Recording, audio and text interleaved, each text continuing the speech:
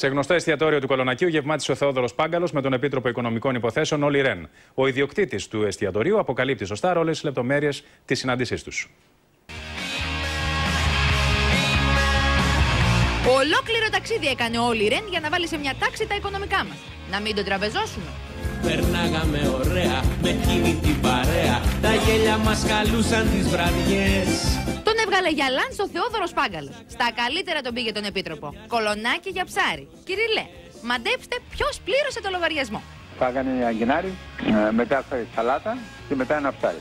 Τι ψάρι; Σπυρίδα, φρέσκια από τη Λίμνο. Τις πατάλες είναι αυτές. Δεν είπαμε ότι θα μαζευτούμε. Πολύ φθηνός ήταν ο λογαριασμός.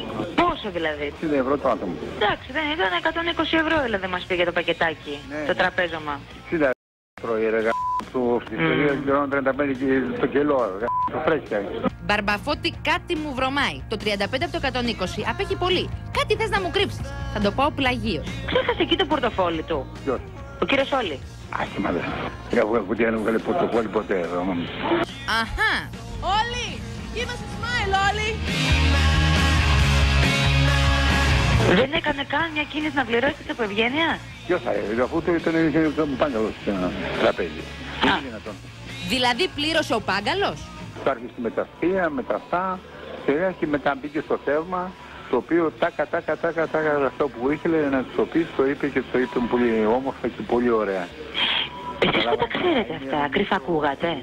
Πώς, αφού ήμουν στο τραπέζι απάνω, τε- ε, ε, τον άκουγα. Το όρθιο σημαίνει. Ο λογαριασμός θα πάει στο Υπουργείο να το πληρώσει το Υπουργείο. Ξέρω εγώ, το πλήρω- θα πληρώσει το Πάγκαλο. Κατάλαβες; Όχι, δεν κατάλαβα. Σε ποιο Υπουργείο; Αντιπρόεδρο κυβέρνησης είναι. Φυσικά και δεν κατάλαβα. Δηλαδή, φύγανε και δεν πληρώσανε. Όχι, πώς πληρώσαν οι άνθρωποι, πώς θα πληρώσουν. ε, ε, ε, Ναι, μου τα μασάτε τώρα. Πλήρωσαν ή θα τους στείλετε το πώς θα τιμολόγιο; πληρώσουν; Καλό κουράγιο.